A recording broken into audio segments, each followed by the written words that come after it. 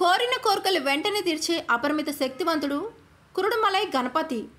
కోలారు జిల్లా ములబాగిలి పట్నం నుంచి పది కిలోమీటర్ల దూరంలోనే కురుడుమలై వినాయకుడి ఆలయానికి ప్రసిద్ధి. చోళుల కాలంలో ఈ ఆలయాన్ని నిర్మించినట్లుగా భావిస్తారు. ఇక్కడ ఆలయంలో మొక్కుకుంటే కోరికలు నెరవేరుతాయని విశ్వాసం. అందుకే నిత్యం వందల సంఖ్యలో భక్తులు ఆలయాన్ని సందర్శిస్తుంటారు.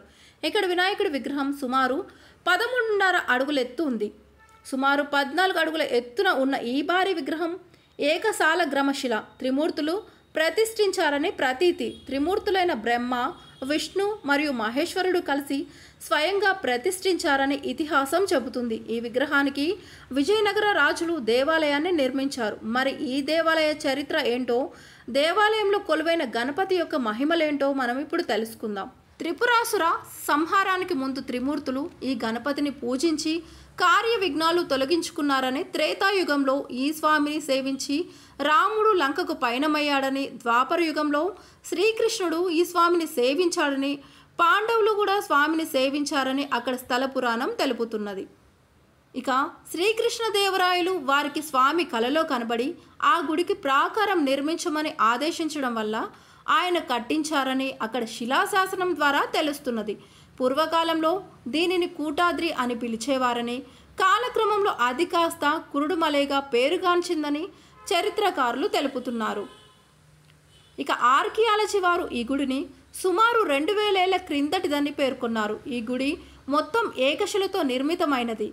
కౌండిన్య మహాముని ఈ ప్రాంతంలో నేటికి ఉన్నారని ప్రతి రాత్రి వచ్చి స్వామిని దర్శించుకుంటారని అక్కడి వారికి అపారమైన నమ్మకం. అందుకు ఆధారాలు లేకపోలేదు. కొన్ని రాత్రులు అక్కడ ఏవో స్తోత్రాలు వినపడతాయని ఓంకారం ప్రతిధ్వనిస్తుందని పర్వదినాలలో దేవతలు స్వామిని సేవించుకుంటారని అక్కడి పెద్దలు చెబుతుంటారు. ఇక విగ్రహం చాలా ఏళ్ళ పాటు బహిరంగ ప్రదేశంలోనే పూజలు అందుకునేది. ఆ తర్వాత ఈ విగ్రహానికి విజయనగర రాజు శ్రీకృష్ణదేవరాయలు దేవాలయాన్ని నిర్మించారని చారిత్రక ఆధారం ద్వారా రుజువైంది. ఇక్కడ ప్రాశస్త్యం ఏమిటంటే మీరు అనుకున్న పనులు జరగక విఘ్నాలు విసిగిస్తుంటే స్వామి దర్శనం మాత్రం చేత ఆ అడ్డంకులు తొలగిపోయి మంచి జరుగుతుందని ప్రగాఢ విశ్వాసం. అక్కడ ఉన్న శక్తి మనకున్న దోషాలను అరిష్టాలను పారద్రోలి మంచి సమయం మొదలవుతుందని ప్రశస్తి. ఇక ఇక ఏదైనా కొత్త పని మొదలుపెట్టే ముందు బాధలతో సతమతమయ్యే వారు తప్పక దర్శించి ఆశీస్సులు తీసుకుంటే వారి పనులు నిర్విఘ్నంగా అద్భుతంగా పనులు పూర్తి అవుతాయని చరిత్ర చెబుతుంది. ఈ ఆలయాన్ని ప్రతినిత్యం వందల కొద్ది భక్తులు సందర్శించి దేవుని ఆశీర్వాదాలు పొందుతుంటారు. ఈ ఆలయానికి వంద మీటర్ల దూరంలో కౌండిన్య మహర్షి ప్రతిష్ఠితమైన సోమేశ్వర స్వామి అమ్మవారిని కూడా దర్శించిన వారి అనుగ్రహం పొందుతారు.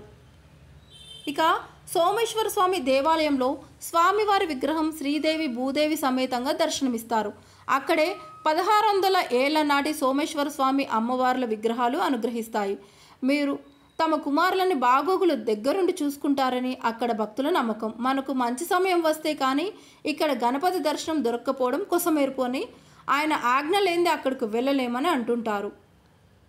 ఇక కురుడుమల ఎలా చేరుకోవాలి? విమానాశ్రయం కురుడుమల సమీపాన నూట పది కిలోమీటర్ల దూరంలో బెంగళూరు అంతర్జాతీయ విమానాశ్రయం కలదు. ఇక్కడికి దేశ విదేశాల నుండి విమానాలు వస్తుంటాయి. క్యాబ్ లేదా ట్యాక్సీలలో ఎక్కి కుర్దుమలే చేరుకోవచ్చు. రైల్వే స్టేషన్ కుర్దుమలైలో రైల్వే స్టేషన్ లేదు. సమీపాన పది కిలోమీటర్ల దూరంలో హవేరీ రైల్వే స్టేషన్ కలదు. ఇక్కడికి వివిధ ప్రాంతాల నుండి రైళ్ళు వస్తుంటాయి. బస్సు లేదా రోడ్డు మార్గం. బెంగళూరు చిక్బల్లాపూర్ కోలార్ తదితర సమీప ప్రాంతాల నుండి ప్రతిరోజు కుర్దుమలేకు ప్రభుత్వ ప్రైవేట్ బస్సులు నడుస్తూ ఉంటాయి. ఈ వీడియో కనుక మీకు నచ్చినట్లయితే లైక్ చేయండి షేర్ చేయండి. మా ఛానల్ను వెంటనే సబ్స్క్రైబ్ చేసుకోండి.